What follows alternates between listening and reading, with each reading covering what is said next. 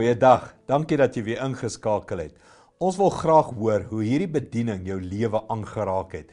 Stuur vir ons jou storie na info@als.org.za.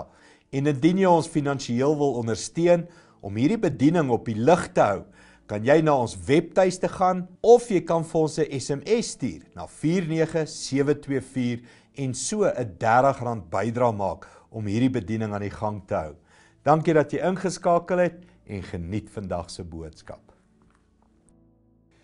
Goeiedag, dis 'n nuwe week, is amper Desember, dan kom almal weer Kaap toe, onthou Kaap Lewensentrum Sondag by Belwel Hoërskool, maar dis nou aan die einde van November en ek wil graag met jou vanmôre 'n spesiale woord deel. Gee kos vir hulle wat niks het om te eet nie. Versorg hulle wat behoeftig is en dan sal dit vir jou word soos lig wat die donker laat verdwyn, soos die son wat in die middel van die dag skyn. Ek en jy het 'n verantwoordelikheid om 'n verskil te maak waar ons ook al gaan. Ons leef tog met die droom en die visie om God en mens liewer te hê. En kom ons lees wat Jesus self hieroor gesê het in Johannes 5 vanaf vers 17 en ek lees vir jou uit die nuwe lewende vertaling. Maar Jesus het teenoor hulle reageer. My Vader werk tot nou toe en ook ek is aan die werk. Is dit nie wonderlik om te weet dat Jesus sê hier my my Vader werk en ook ek is aan die werk. Dis asof daar 'n hele span is wat wat werk, wat oor ons besorg is dat God sê of ons lees dit in die woord dat die die Here hom meer bekommer oor ons as oor die engele. Wonderlike gedagte om te weet dat die Here aan die werk is. En so dikwels sien ons dit nie raak in ons eie omstandighede en ons eie probleme dat God is eintlik die heeltyd agter die skerms, is hy aan die werk. En dis die goeie nuus dat hy ook aan die werk is met ons lewens. God was en is nog steeds besig. Jesus sê hier in die evangelie van Johannes, hy is ook aan die werk. Iets van hierdie woorde snyp diep sny diep in my hart in. Net voor hierdie gedeelte word Jesus aangekla omrede hy op 'n Sabbatdag goeie dade gedoen het. Gebruik ek en jy elke geleentheid om goed te doen? Of voel ek nie nou so nie of al voel dit ek wil eerder nou rus en iemand moet my net nie nou pla nie.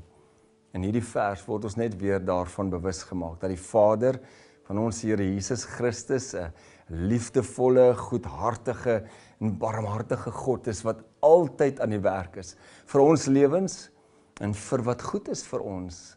Altyd ons beste belange op die hart dra en daarom kan ons nie ook moeg word om goed te doen aan ander nie. Sodra mense egter die Christelike lewe as 'n swaar en 'n moeitevolle plig of 'n las sien, as te ware op jou tande moet byt of jou voete moet voortsleep om iets vir die Here of iets vir iemand anders te, te doen, dan beteken dit eintlik dat ons die essensie van disippelskap nie goed begryp nie.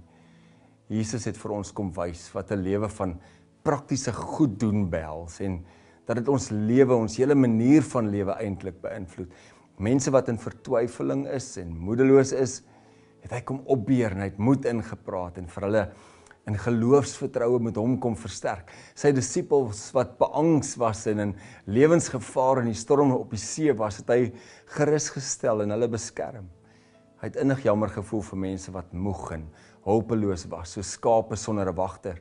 Selfs teenoor afvalliges het hy genade en liefde bewys en hulle moet vergifnis kom oorlaai.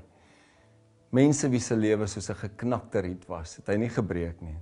Mense wie se lewe soos 'n dowwe lamp het was, van die rook het hy ook nie uitgeblus nie. Jesus het mense se lewens diep en blywend kom raak en is altyd deur aan die werk. So dat baie van ons ook volgelinge van Christus is, bereid is om ons lewe af te lê vir hom.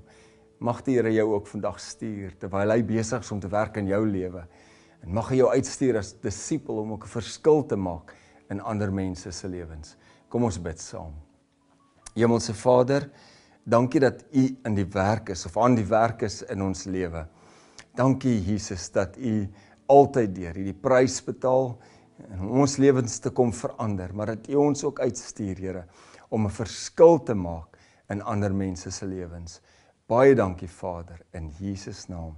Amen mag jy vandag uitgaan en 'n verskil maak waar jy ook al beweeg. Die Here seën jou, sien jou weer môre.